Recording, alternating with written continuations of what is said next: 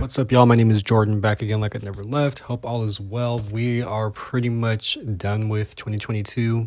Really insane to think about. It is time for me to start doing my year end list. Now, I at first wasn't going to make a separate video strictly for this, but the more I thought about it and the more that I'm kind of heading into a different direction as far as content creating goes, I decided, you know what? I'll have my top 50 albums of the year, but let me also shine a light on some albums that I really enjoyed, some albums that if I were to make a 100 best albums of the year list, these albums would definitely be on there just in no order. And also in the same video, in the same breath, let me also add in some EPs I really enjoyed. And I'm just going to start off with a genre that you know, I feel like gets a lot of hate, or not even so much as hate, but you know, is always said it's dead, right? I think if you've been keeping up with the news, Diddy had said R and B is dead couldn't be no further than the truth. I get what he was trying to say from a mainstream point of view, but there was a lot, I mean a lot of great R&B projects that they dropped this year. So I'm just going to name a few, at least about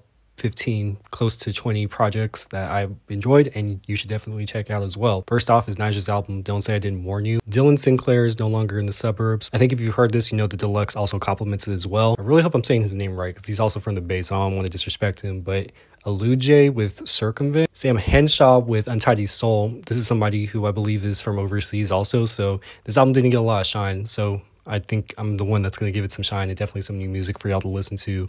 Also, there's this new artist or a newer artist, Eli Derby, with his project Left on Read, Pink Sweats with Pink Moon, Babyface with Girls Night Out. And, you know, typically I'm not the biggest fan of compilation albums, but I think the idea that Babyface went forward to just have female R&B artists was a nice move. Now I'm going to be taking it back with this one, but the Isley Brothers make me say it again, girl. This may not be everyone's favorite album, but you know what? I got to put a light on some legends that, you know, are still with us, right? It's not every day that we have artists who are in their 80s still putting out music. I know some may have questions about the features, whether it's 2 Chainz, Rick Ross, Quavo, Takeoff, Beyonce. It was music that I enjoyed. It was a nice album. Phony people finally put out their new album, Euphonyus. I really was trying to figure out when this album was going to come out ever since effing around with Megan Thee Stallion was wondering when the album was going to come out and it finally did was very happy with the results. Mary J. Blige with Good Morning Gorgeous. She's nominated for Album of the Year at the Grammys, so that's helping that that's giving the album some recognition. But I think she's going to be taking a break from music. I heard that she was going to be doing a talk show pretty soon. Even with her taking a break, this was to me her best work in a while, right? I, I heard somebody say, like, oh, this is her trying to capture that same sound from her past albums, and it just makes me want to listen to those past albums. But I mean, it's all opinion, and I can respect it but I disagree with it just because I found myself enjoying this album more than her other past few works, this past decade at least. Just some few other R&B projects that I loved a lot were Siergio Before It's Too Late, Destin Conrad with Satin, and this is definitely in the experimental R&B route, but Sudan Archives with Natural Brown Prom Queen. So if you've ever heard any of these albums before, I definitely think you should give these a listen, but then also just realize these were the R&B albums that I enjoyed a lot and should definitely be given some recognition. Just gonna also shout out this one jazz album, Adam Blackstone's Legacy. This not only has features with Jazmine Sullivan, who has my favorite song on here, but then also Chadwick Boseman's wife has a beautiful tribute track for him. As far as albums that are not R&B, just kind of throwing out ones that are of a different genre, I wanted to throw out some names of these projects. Rina Sawayama's Hold the Girl. Not gonna lie, it wasn't a disappointment. It just for me wasn't as good as Sawayama. I thought was not only one of my favorite albums of 2020, but it was a much more superior album. And that's no disrespect to Rina herself, but I much, much prefer that album herself titled pretty much Sawayama over Hold the Girl.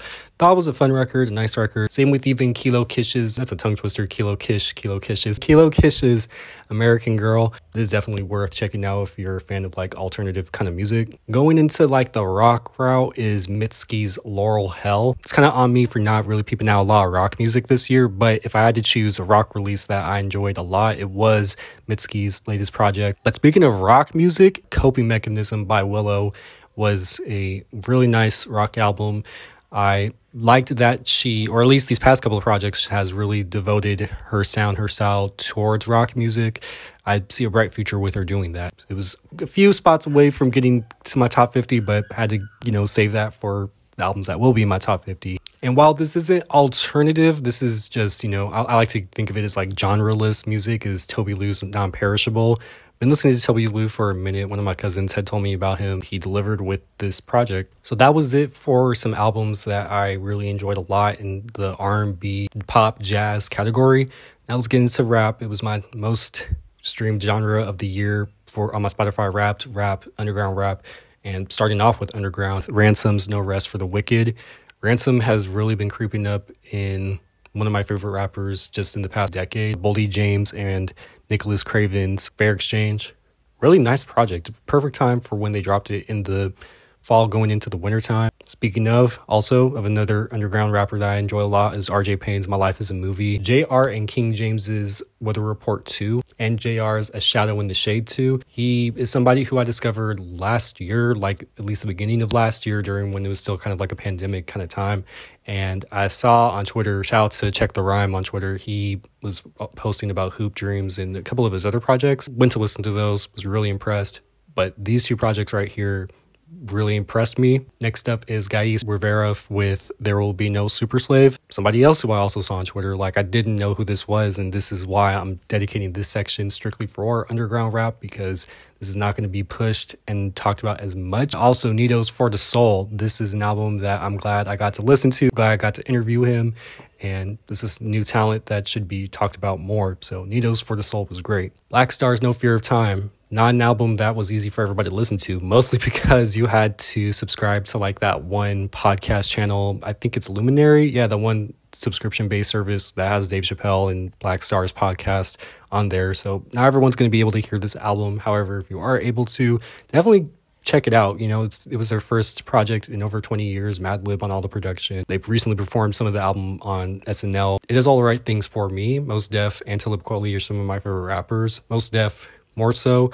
But this proves again that in the ages that they're at, what pushing up on 50 damn near, they haven't lost touch of what they did 20 years ago, well over that. Two other projects though are Elzhi's Zhigeist. Elzhi is somebody ever since Lead Poison, ever since he was even a part of Slum Village, like he's never lost touch also. So out of anybody who's come from Detroit, he's definitely one of my favorite rappers from there.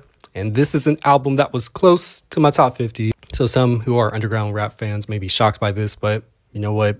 It didn't make it on my list, but it was still good enough for me to mention it, and that is Billy Woods' latest album, Aethiopes. Don't have much more to say about that except I enjoyed the album he put out last year. I preferred Armand Hammer more over this album, but then again, still a good album regardless. Now, this isn't an underground artist, but this is somebody who is definitely deserving of just being mentioned, just because you know what? They passed away six years ago, and to this day, it's still very sad to mention. But Phife Dawg with Forever. I know a lot of people like to mention Mac Miller Circles. A lot of people like to mention Don Killuminati by Tupac.